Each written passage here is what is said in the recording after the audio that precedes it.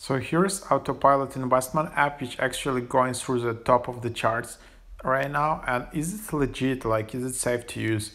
So the idea of this app is that it just takes top politicians and hedge fund managers, uh, and then you can copy their portfolio. So you can see which stocks they have in their portfolio, and then you can copy into your broker uh, account. Um, so uh, yeah, the ultra rich have the best invest for them. We think you should too. So that's actually pretty cool idea.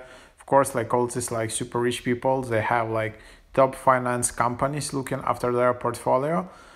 Um, and then uh, yeah, so that's uh, uh, of course you should also be able to have access to that. And then they want to expose politicians' shady trades, invest in what you believe in so for example, you can go here and then you can see like, here's Nancy Pelosi portfolio. And then I just want to select this and copy this portfolio into my Robinhood, Webull or Ameritrade.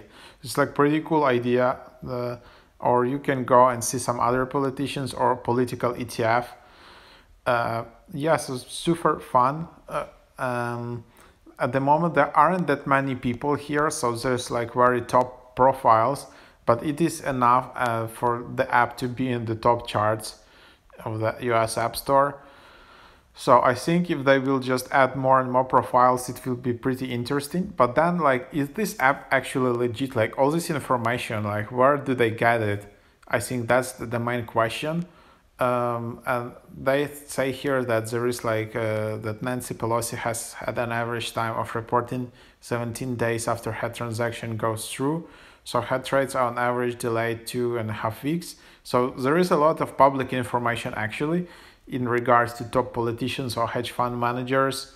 And also they're exposing a lot of information on their Twitter, some public feeds uh, and all of that. And if you just do research, you can get an estimate like what their portfolio is. Of course, I think this is just like an estimate. Uh, I, maybe it's like uh, for some people it's actually super precise.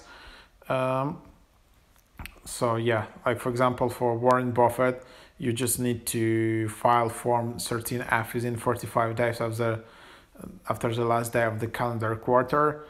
Um, so yeah for some people it's just precise um, so yeah, um, super cool idea. So I think this app for sure can be used to give you give you some ideas or using for research or uh, looking after what top people are buying and trading. Of course, maybe still some assets can be hidden and not everything is like opened up, of course. But yeah, um, so that can be just uh, some food for thought. It's like a cool app. Definitely give it a try.